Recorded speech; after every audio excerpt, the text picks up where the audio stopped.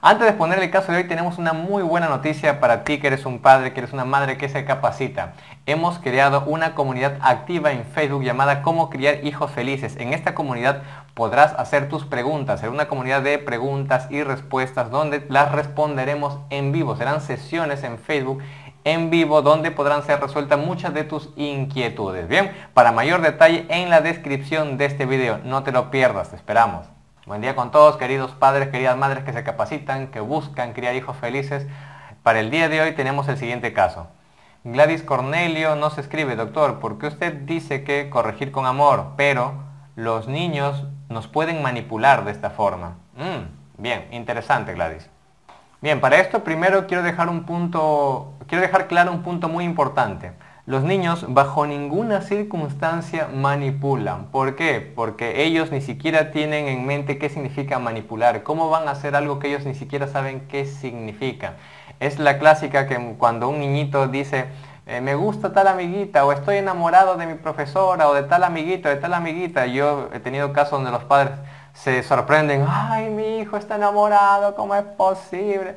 Eh, pero lo que los niños dicen no tiene nada que ver con lo que nosotros creemos sobre eso. Por ejemplo, el caso de estar enamorado, nosotros como somos adultos damos una connotación, tiene un significado muy diferente a lo que los niños entienden. Nosotros, uy, o sea, en nuestra mente está besos, abrazos, intimidad, eh, emoción intensa, pasión, etcétera, porque hemos vivido tantas cosas que nos llevan a tener o a darle determinado significado pero los niños no han vivido nada de eso. Su cerebro, su cerebro no le permite eh, darle ese significado. ¿Por qué? Porque no está preparado, no está maduro para darle los significados que nosotros lo damos, ni en el aspecto afectivo, en el aspecto sexual, cognitivo, en ninguno de los aspectos, o no va a coincidir en casi nada de los aspectos eh, del significado que nosotros le damos. Bien, entonces, volviendo al tema, los niños no manipulan, ellos ni siquiera saben qué es manipular. Bien, ellos no lo hacen con una mala intención, ténganlo bien claro. Pero ¿por qué pareciera que nos manipulan? Lo que pasa es lo siguiente, muchas veces los niños asocian, asocian que con una determinada conducta obtienen lo siguiente, asocian que si es que ellos hacen el berrinche, obtienen lo que desean, obtienen el helado, obtienen el juguete, obtienen más tiempo de televisión. Ellos asocian porque asociarlo puede hacer cualquier animal más simple, más primitivo, puede asociar. Bien, un perrito de repente tocas una campana y le das de comer, va a llegar a los 3-4 días que el perrito ni bien toques la campana ya asoció con comida y va a comenzar a salivar. ¿Bien? Son asociaciones que lo puede hacer el ser más, eh, algún ser que no tenga tanta inteligencia. Bien, entonces, pero ¿quiénes provocan esas asociaciones? Nosotros, nosotros mismos somos los causantes que nuestros niños asocien que con determinadas conductas obtienen determinados beneficios.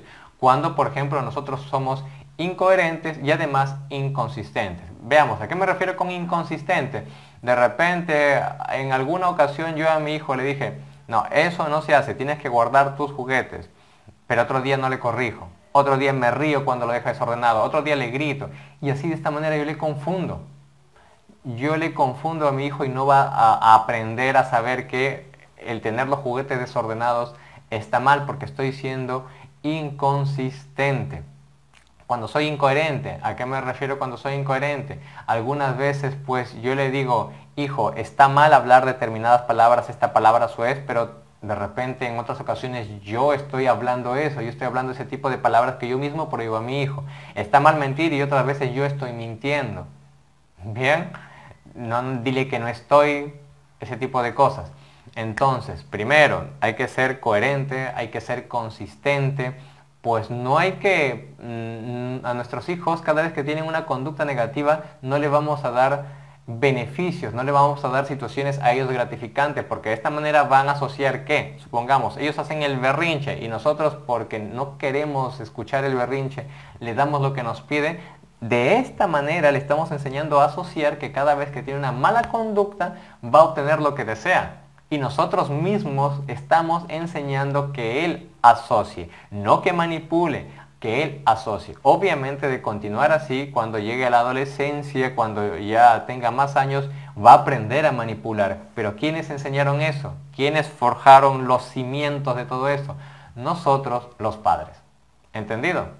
Espero que te haya servido este video, así como a otros padres de repente que han tenido esta duda si es que los niños manipulan o no. Pues no, los niños no manipulan. Nosotros les enseñamos a asociar que con ciertas conductas obtienen ciertos beneficios. Bien, espero que te haya servido, espero que te guste. De ser así, por favor, dale un me gusta, compártelo y de esta manera no solamente ayudarás a más padres, sino también a más niños. Seguiremos así, no te olvides de que hijos felices. Chao, chao.